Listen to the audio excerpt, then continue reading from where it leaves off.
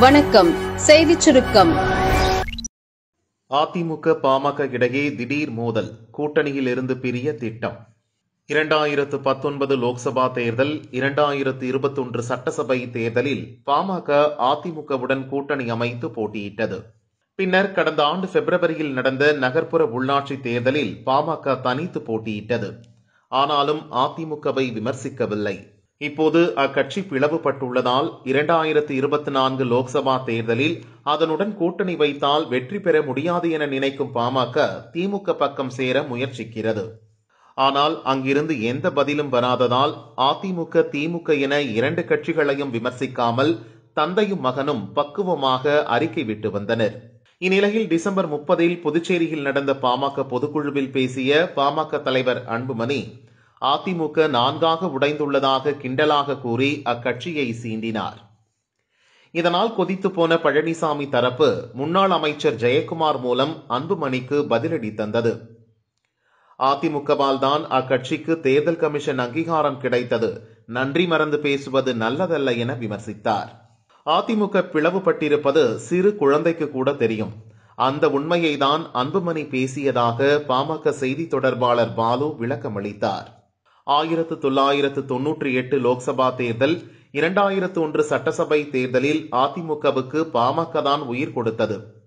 ஜெயலலிதாவே பாமக அலுவலகம் தேடி வந்தார். நுனிமரத்தில் அமர்ந்து அடிமரத்தை வெட்டக்கூடாது என ஜெயக்குமாரின் கருத்துக்கு பதிலடி கொடுத்தார். இரு கட்சிகளிடையே வெடித்துள்ள இந்த திடீர் மோதல் அவர்களுக்கிடையே கூட்டணி நீடிப்பதில் சிக்கலை ஏற்படுத்தியுள்ளது.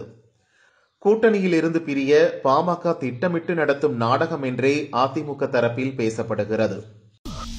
அமைச்சரவை இன்று கூடுகிறது. சென்னை தலைமைச் செயலகத்தில் இன்று அமைச்சரவை கூட்டம் நடக்கிறது. ஒன்பதாம் தேதி நடக்கும் சட்டசபை கூட்டத்துக்கு தயார் செய்யப்பட்டுள்ள கவர்னர் உரைக்கு அமைச்சரவை ஒப்புதல் அளிக்க உள்ளது கவர்னர் உரையில் ஓரிரு அறிவிப்புகள் வரும் என எதிர்பார்க்கப்படுகிறது. கூட்டத்தில் பெண்களுக்கு மாத உரிமைத் தொகை வழங்குவது குறித்து ஆலோசிக்கப்படுகிறது. பொங்கல் பரிசு விநியோகத்தை கண்காணிக்கும் அதிகாரிகள் தமிழக அரசு அறிவித்த ஆயிரம் ரூபாய் ரொக்கம் அடங்கிய பொங்கல் பரிசு தொகுப்பு விநியோகம் ரேஷன் கடைகளில் ஒன்பதாம் தேதி துவங்குகிறது. எந்த குளறுபடியும் இல்லாமல் தகுதியான அனைத்து அரிசி கார்டுதாரர்களுக்கும் பொங்கல் பரிசு கிடைப்பதை உறுதி செய்ய கலெக்டர்களுக்கு அரசு உத்தரவிட்டுள்ளது. மொத்தம் உள்ள முப்பத்தைந்தாயிரம் ரேஷன் கடைகளில் கூட்டுறவுத்துறை சார்பில் மட்டும் முப்பத்து மூன்றாயிரத்து ஐநூறு கடைகள் இயங்குகின்றன. அந்த கடைகளில் பரிசு தொகுப்பு கிடைப்பதை உறுதி செய்ய கண்காணிப்பு அதிகாரிகளை கூட்டுறவுத்துறை நியமித்துள்ளது. சென்னைக்கு மட்டும் ஒரு கூடுதல் பதிவாளரையும் மற்ற இடங்களில் மூன்று நான்கு மாவட்டங்களுக்கு ஒரு கூடுதல் பதிவாளரும் கண்காணிப்பு அதிகாரிகளாக நியமிக்கப்பட்டுள்ளனர். சென்னை டெல்லி இடையே கூடுதலாக நான்கு விமான சேவை. சென்னையிலிருந்து டெல்லிக்கு ஏர் இந்தியா இண்டிகோ விஸ்தாரா உட்பட பல்வேறு விமான நிறுவனங்கள் விமானங்களை இயக்குகின்றன. இரு மார்க்கமாக தினமும் பத்தொன்பது விமான சேவைகளை வழங்குகின்றன. இப்போது ஏர் இந்தியா நிறுவனம் கூடுதலாக நான்கு சேவைகளை துவக்கியுள்ளது. சென்னையிலிருந்து டெல்லிக்கு காலை ஏழு ஐம்பது மாலை மூன்று நாற்பது மணிக்கும் மறு மார்க்கமாக பிற்பகல் இரண்டு நாற்பத்தைந்து இரவு பத்து முப்பத்தைந்து மணிக்கும் விமானம் இயக்கப்படுகிறது. டெல்டா மாவட்டங்களில் நான்கு நாட்கள் மழை உண்டு.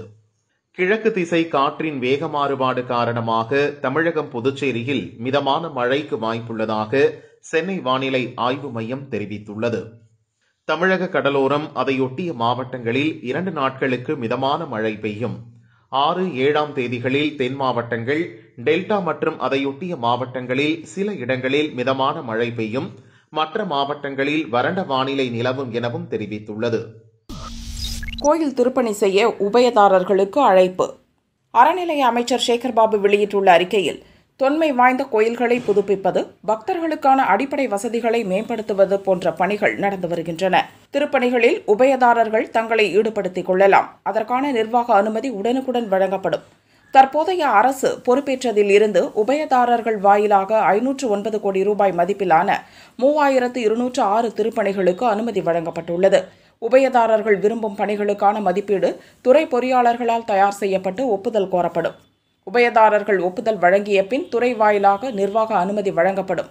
துறை மேற்பார்வையோடு உபயதாரர் விரும்பும் நிறுவனத்தின் வாயிலாக பணிகளை மேற்கொள்ளலாம் என கூறப்பட்டுள்ளது. ராகுல் யாத்திரையை பாராட்டி கமல் கட்சியில் தீர்மானம். மக்கள் நீதி மையத்தின் செயற்குழு கூட்டம் கட்சித் தலைவர் கமல் தலைமையில் நடந்தது. அடுத்த கட்ட செயல் திட்டங்கள் லோக்சபா தேர்தல் பணிகள் கூட்டணி உள்ளிட்ட பல விஷயங்கள் விவாதிக்கப்பட்டன. கூட்டத்தின் இறுதியில் தீர்மானங்கள் நிறைவேற்றப்பட்டன. ராகுலின் ஒற்றுமை யாத்திரையில் கமல் பங்கேற்றதற்கு பாராட்டு தெரிவிக்கப்பட்டது. தேச நலனுக்கு பாதிப்பு ஏற்படும் போது கட்சியின் எல்லைகளை கடந்து கமல் களத்தில் நிற்பார் என்பதை மீண்டும் நிரூபிப்பதாக இருந்தது என தீர்மானம் நிறைவேற்றப்பட்டது. இதன் மூலம் வரும் லோக்சபா தேர்தலில் காங்கிரசுடன் மக்கள் நீதி மய்யம் கூட்டணியில் இணையும் என்பதை மறைமுகமாக உறுதிப்படுத்தியுள்ளனர் தற்காலிக ஆசிரியர் நியமிக்க முடிவு.